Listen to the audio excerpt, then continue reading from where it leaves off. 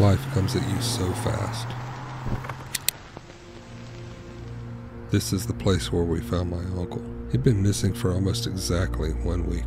They even ran a story about him on the local news. Deputies are searching for a missing man who they say is endangered. So deputies say 64-year-old pictured here on your screen was last seen around 3 p.m. Wednesday. He is in need of immediate medical attention, so anyone who sees him is asked to call 911. He'd last been seen on a Wednesday afternoon. No one even knew he was missing until that Friday, when the in-home care nurse arrived to treat him and he wasn't there. His TV was on, his cell phone was on the counter, and his dog Gracie was inside alone. My mom and aunt spent the next week trying to trace his normal steps, calling everyone he had recently called, checking bank transactions, talking to the police. There was just no trace of him.